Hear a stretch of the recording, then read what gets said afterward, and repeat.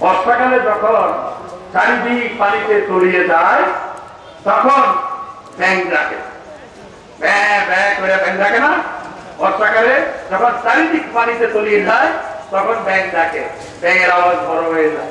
কারণ চারিদিকে যখন পানি তলিয়ে যায় ব্যাং অসহায়ের মতো ডাকে। সাহেবদের ও টেলিভিশনের সামনে হচ্ছে, বর্ষাকালে মতো। হচ্ছে বর্ষাকালের ব্যাগ সারা দেশে সমাবেশ করতে পারে না। দেখলাম যে বিভিন্ন জায়গায় সমাবেশ করতে গিয়ে পাবনাতে, চট্টগ্রামে, তারপর বিভিন্ন জেলা উপজেলায় সমাবেশ করতে গিয়ে নিজেরা নিজেরা মারামারি করে। নিজেরা একটা সুস্থভাবে সমাবেশ করতে পারে না, ওনারা আবার সরকার পরিবর্তনের ডাক দেবে। সরকার পরিবর্তনের আর কি বলে? জাতীয় ঐক্য করতে হবে। আমরা দুই হাজার আঠারো সালে দেখেছিলাম যে বিএনপি ডান বাম অতি বাম অতি সবগুলো নিয়ে ঐক্য করেছিল। সেই ঐক্য নির্বাচনের পরে বাতাসে উড়ে গেছে।